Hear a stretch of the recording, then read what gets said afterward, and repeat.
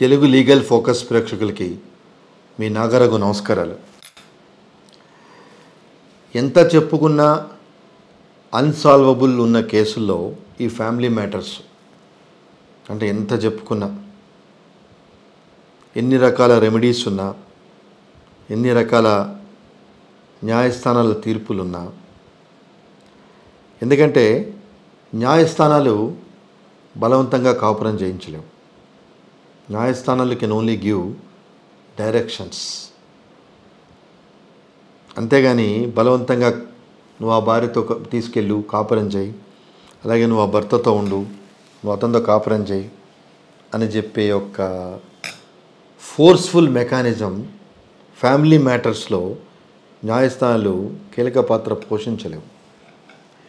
కానీ చాలామంది ఏంటంటే అలాంటప్పుడు ఓ డౌటు భర్త కానీ భార్య కానీ కాపురానికి తీసుకెళ్ళినప్పుడు లేకపోతే ఇంటి నుంచి వెళ్ళిపోయి సహేతుకమైన కారణాలు లేకుండా తిరిగి రానప్పుడు section nine Hindu marriage act ప్రకారం తనల్ని మ్యాట్రమోనియల్ హోమ్లో చేరమని అంటే రెస్ట్యూషన్ ఆఫ్ కాంజుగల్ రైట్స్ భర్తతో కానీ భార్యతో కానీ ఎవరైతే బయటికి వెళ్ళిపోతారో వాళ్ళని తిరిగి ఆ వివాహ వ్యవస్థలో చేరమని చెప్పని ఆర్డర్లు ఇవ్వచ్చు అని చెప్పి చాలా సందర్భాల్లో చెప్పడం జరుగుతుంది. ఇది రాజ్యాంగపరంగా యాక్సెప్ట్ అయిన section section nine of Hindu marriage act. దీని మీద సుప్రీంకోర్టు తీర్పులు కూడా చాలా సందర్భాలు ఇవ్వటం జరిగింది. అంటే భర్త కానీ భార్య కానీ ఎవరు రాకపోతే రెండవ స్పోర్ట్స్ రావాలి వివాహ వ్యవస్థలో కలవాలి అని వేసే పిటిషనే న్యాయస్థానాల ముందు అంటే కుటుంబ న్యాయస్థానం ముందు ఈ పిటిషన్ వేసుకుంటే పూర్వాపరాలు పరిశీలించిన తర్వాత కోర్టు రీజన్స్ విడిపోవటానికి కరెక్ట్ కాదు. అంటే భార్య కానీ భర్త కానీ వివాహ కుటుంబం నుంచి వీళ్ళు బయటికి వెళ్ళిపోవటం కరెక్ట్ కాదు అని కనుక భావిస్తే కంపల్సరిగా భార్యను కానీ భర్తని కానీ తిరిగి వివాహ కుటుంబ వ్యవస్థకి వెళ్ళమని మార్గదర్శకాలు ఇవ్వచ్చు. అలాగే ఒక్కో సందర్భాల్లో కరెక్ట్ కాదు. అంటే భార్య కానీ భర్త కానీ చూపించిన reasons.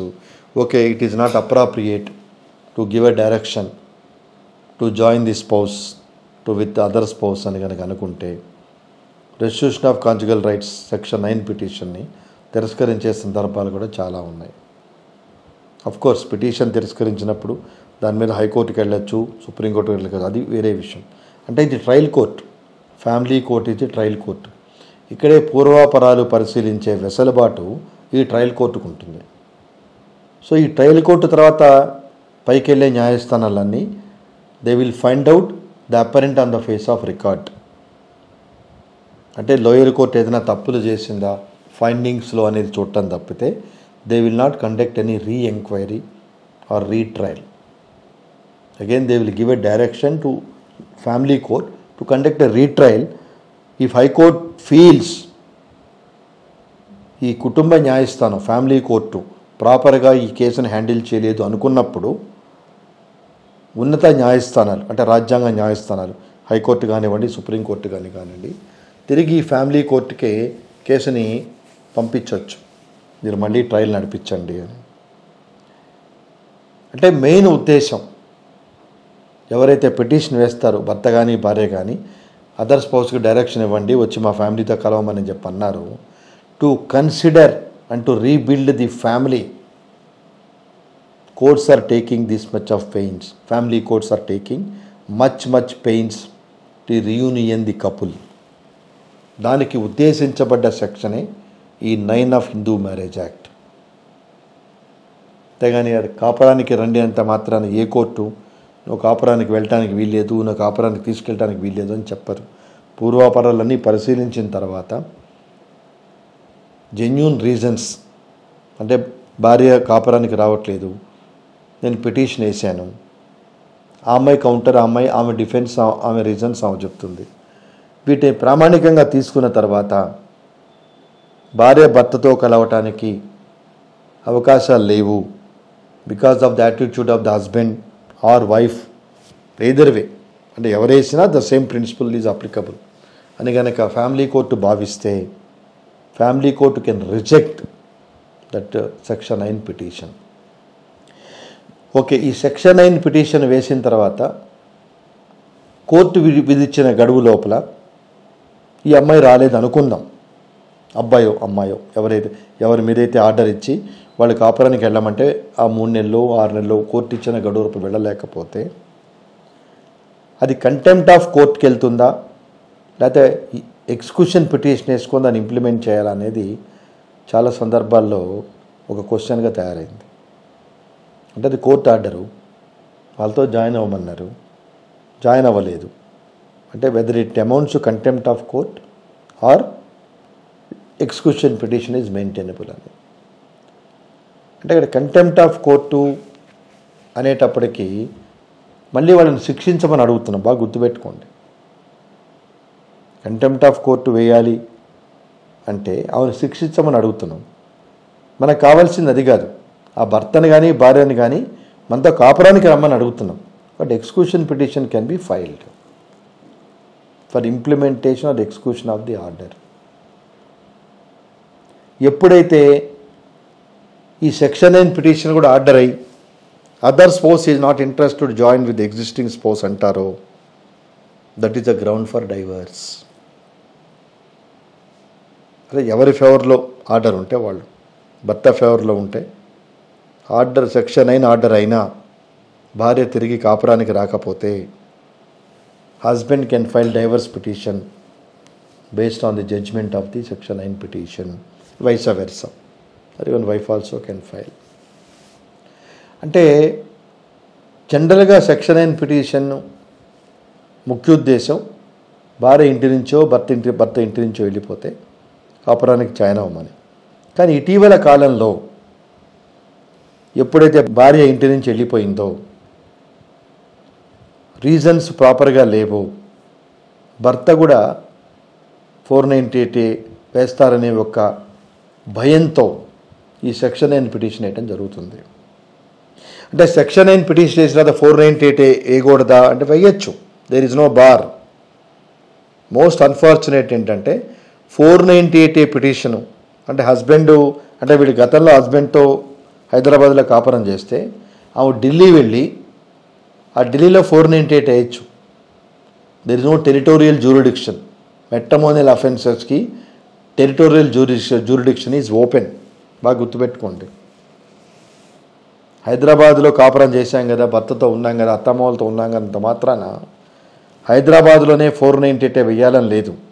She can very well file in anywhere in India wherever she resides wherever she resides అలాగే డొమెస్టిక్ వైలెన్స్ కూడా. డొమెస్టిక్ వైలెన్స్ కూడా ఎక్కడైతే ఆ అమ్మాయి ఉంటుందో అంటే wife that area is having jurisdiction to file domestic violence అలాగే డైవర్స్ కేసుకి మూడు పాయింట్లు జ్యూరిడిక్షన్ ఇచ్చారు. ఇద్దరికీ మ్యారేజ్ అయిన ప్లేసు లాస్ట్లో ఎక్కడ కలుస్తున్నారనే ప్లేసు భార్య ఉన్న ప్లేసు అది భర్త ఉన్న ప్లేస్ రెస్పాండెంట్ అన్నారు. అది. అంటే there is a limitation for filing divorce case these are only three areas place of marriage or where lastly both reside as well as place of the any of the spouse కానీ four ninety eight A డీవీసీకి మాత్రం wherever women stays that place is having the jurisdiction section nine petition మెయిన్గా in order to avoid in order to avoid the pressure అంటే section nine petition ఇచ్చిన మాత్రాన four ninety eight domestic violence వీగిపోతాయని కాదు. He can give explanation sir నేను ఆ భార్యని కాపరానికి రమ్మని పిటిషన్ వేశాను.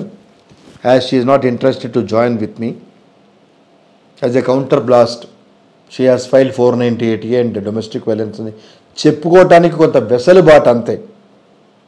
Not absolute totally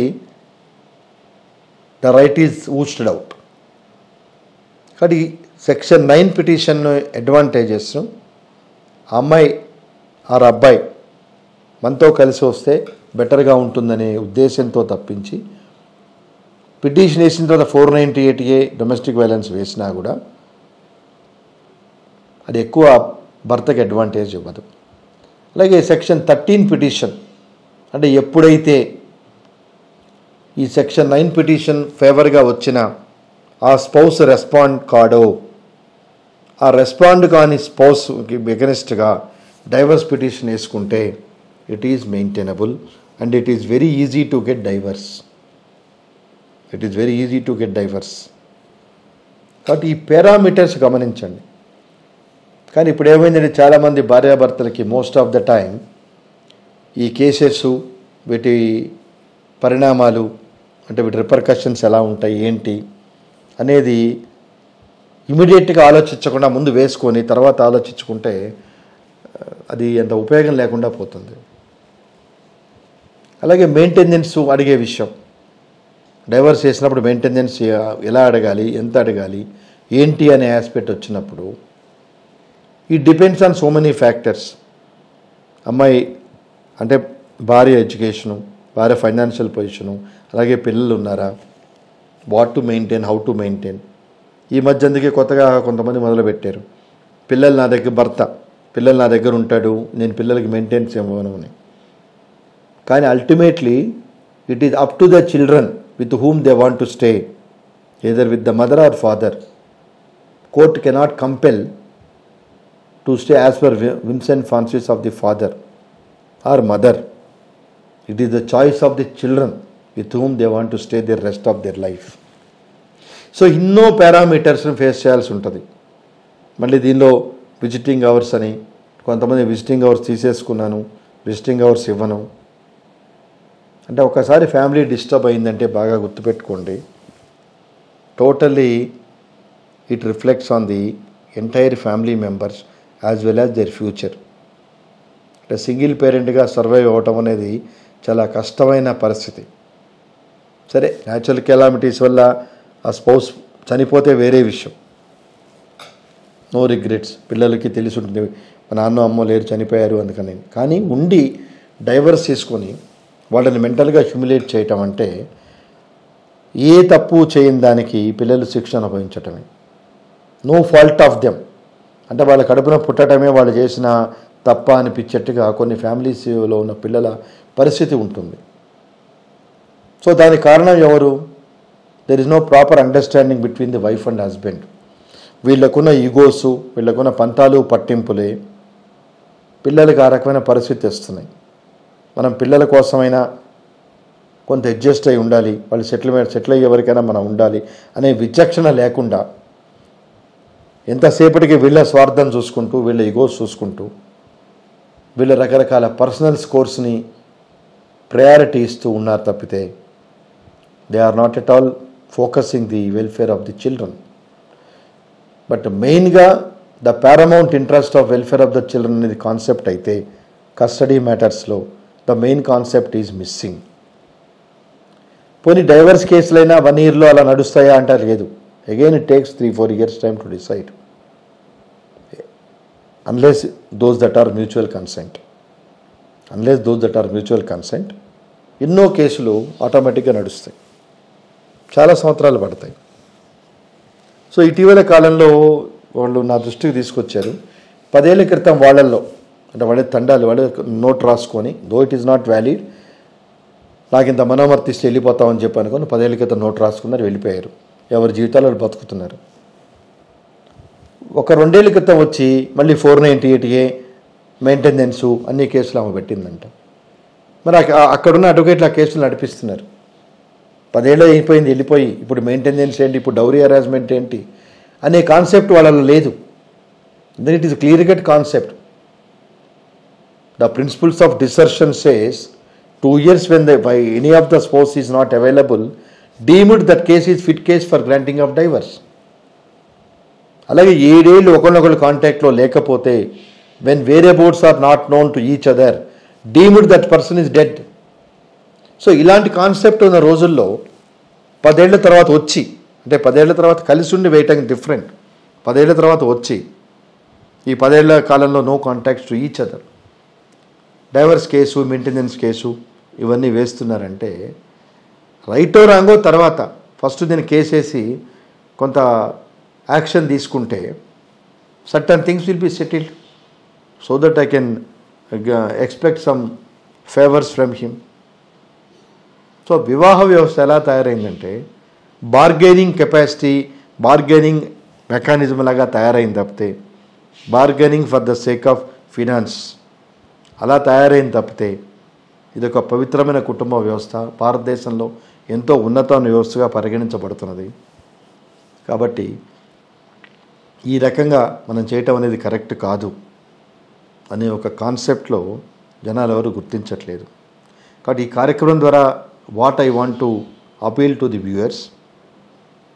ఫ్యామ్ సెక్షన్ నైన్ పిటిషన్ వేసిన సెక్షన్ థర్టీన్ పిటిషన్ డైవర్స్ వేసిన please be prepare for pros and cons. రావచ్చు అమ్మాయి రాకపోవచ్చు ఆ అబ్బాయి రావచ్చు రాకపోవచ్చు. సో డైవర్స్ అనేది never ended process. It takes its own course of time three years four years పట్టచ్చు. కొన్ని కొన్ని కేసుల్లో ఈ మధ్య హైకోర్టులో పెండింగ్ ఉన్న కేసులు. భర్తకి డైవర్స్ వచ్చినాయి ఫ్యామిలీ కోర్టులో భార్యకి ఇష్టం లేదు భార్య ఫైట్ చేస్తూ ఉంది. స్టిల్ ఇట్ ఈస్ పెండింగ్ అంటే ఇన్నేళ్ళు పెండింగ్ ఉంటే ultimately what they want achieve nobody knows but is pending so చాలా కేసుల్లో అలాగే కస్టడీ కూడా ఎనీ ఆఫ్ ద స్పోర్ట్స్కి ఇస్తారు. కస్టడీ నాకు కావాలి హైకోర్టులో వేస్తాడు. అంతేగాని అక్కడ వేసినప్పుడు he never asked for visitation rights ఆ పిటిషన్ పెండింగ్ ఉంటుంది. అంటే ఇది if at all really you have love and affection towards your children you can very well ask visitation rights court can grant it is your right being a natural parent of a child either either parent natural parent of the child you have every right to see your child of course కోర్టులో ఉన్నప్పుడు with the permission of the court only you can see your child ఇవేం ఉండవు కింద కోర్టులో ఈయనకి divorce వస్తాయి. Child వైఫ్కి వెళ్ళిపోతుంది. సో చైల్డ్ పిటిషన్ వేస్తుంది అపీల్ వేస్తుంది ఫ్యామిలీ కోర్ట్ అపీలు. హైకోర్టులో డైవర్స్ నాకు ఇష్టం లేదు డైవర్స్ ఇచ్చారు I want to continue with my husband అని. సో అలాగే చైల్డ్ రైట్స్ గురించి క్వశ్చన్ చేయరు కానీ హైకోర్టులో పెండింగ్ చేస్తారు. So to in order to avoid all this confusion among the family members disputes వచ్చినప్పుడే please try to sort out the dispute amicably without touching the doorsteps of the judiciary ఆర్ఎల్స్ please start out amicably and lead your life independently on your own without causing and costing the life of the children ఎందుకంటే we have no right మన family ఎడిదిరిగి disturb అయిపోయింది because of reasons ఈ మూడు నాలుగేళ్ళు కోర్టు చుట్టూ తిరిగే బదులు హెమికబుల్గా స్టార్ట్ అవుట్ చేసుకొని